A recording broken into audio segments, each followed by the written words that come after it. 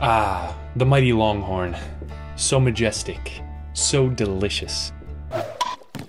Sounds like a lot of hoopla. And not to mention, you can store some serious data in these babies. That's right. In the last video, we went over setting up our Kubernetes cluster on a NUC with K3S.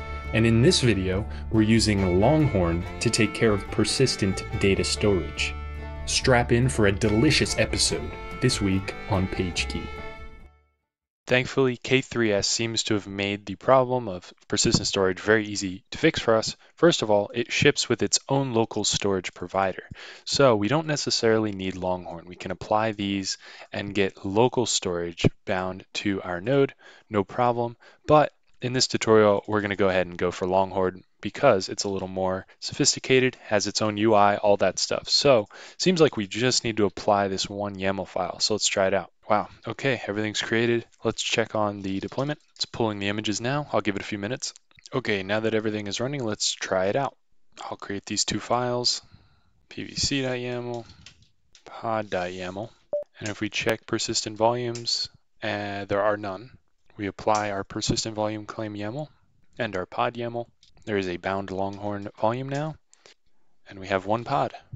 It's pulling, but we'll test it out in one second and show the power of persistent volumes. Okay, it's all set, so let's get into this pod by doing kubectl exec-it volume test bash. Not bash, sh works for this particular image that they used. And what do we have here? Well, it says slash data should be our persistent volume, and it looks good. So it's empty except for lost and found. Let's touch a file in there. Keep me forever. Let's also touch a file outside of the persistent volume claim. I will be lost. So we see the file I will be lost at the root level here. That can be anywhere on the file system. And then we have our persistent volume with keep me forever. Let's exit out and I will kubectl delete the pod. Get pod shows that there's nothing there and I will recreate the pod. So the pod is back, it's creating, and it's finally running. So we can rerun our exec command. We're in the pod. At the top level, nothing is there. So we lost that one file. Let's check the data volume.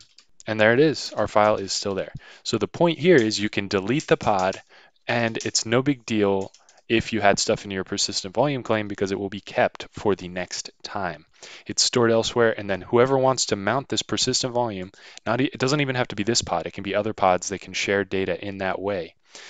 It's great. And then everything else in the pod, as you know, is ephemeral, so it's lost. But in this case, we can have persistence between deployments, between pods. So it's pretty exciting.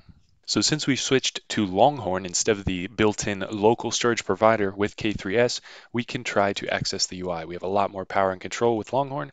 Let's see how this is done. So we'll do kubectl get service in the Longhorn system namespace, and it says to find the cluster IP for the front end and put it right into your browser.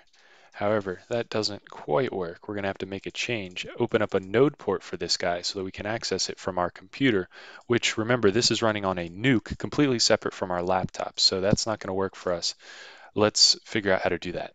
So what we can do is check the services that we have available. We want to edit the Longhorn front end service. So we'll do kubectl edit service in the namespace Longhorn system, Longhorn front end.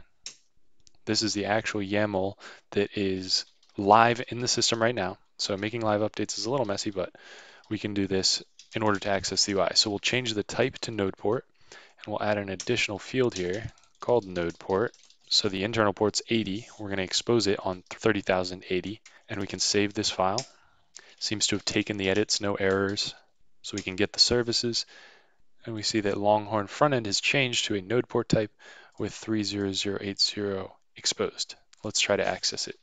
So it seems to have worked like a charm. I put in my public address. It's uh, in my hosts file at this point for the NUC colon 30080 and I get the Longhorn dashboard.